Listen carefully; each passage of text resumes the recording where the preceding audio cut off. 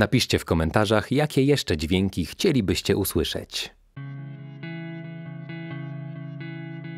Zasubskrybuj kanał i nie zapomnij zostawić dzwoneczka, aby otrzymywać na bieżąco powiadomienia o nowych dźwiękach.